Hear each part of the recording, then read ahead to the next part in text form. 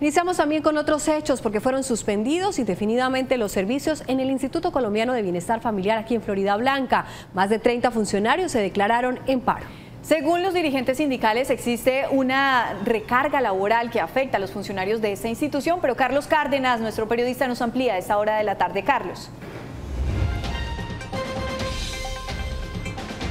Buenas tardes, pues solo urgencias y algunas tutelas serán atendidas aquí en la zona sur de Bienestar Familiar. 38 funcionarios se han declarado en paro indefinido. El servicio a la comunidad fue suspendido en casi todas las áreas del Instituto Colombiano de Bienestar Familiar, sede sur en Florida Blanca. Solo algunas urgencias son atendidas. Se van a atender eh, las denuncias que ingresen por el 141 prioritarias, eh, también eh, las tutelas que nos lleguen el día de hoy, entonces se les va a dar eh, prioridad.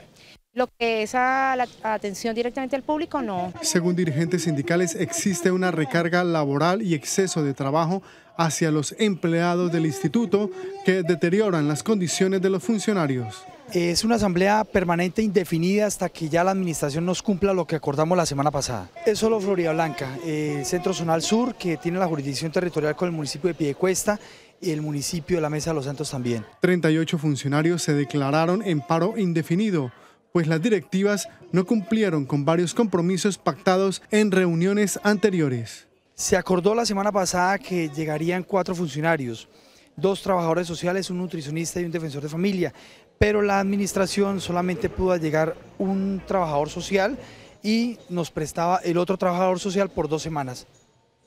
Hasta tanto se cumplan las peticiones del sindicato y los funcionarios, se levantará ese cese de actividades. Eso es todo por el momento. Sigan ustedes en estudio.